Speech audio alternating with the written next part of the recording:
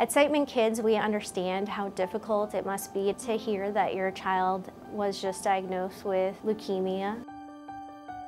We have a team of leukemia specialists that will meet with them and first line therapy is chemotherapy. For girls, that chemotherapy course is about two years. For boys, it's about three years.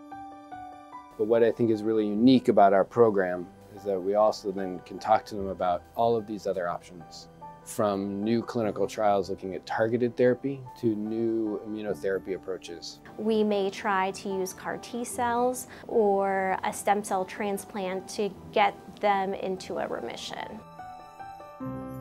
Cancer cells can find a way to hide from the immune system.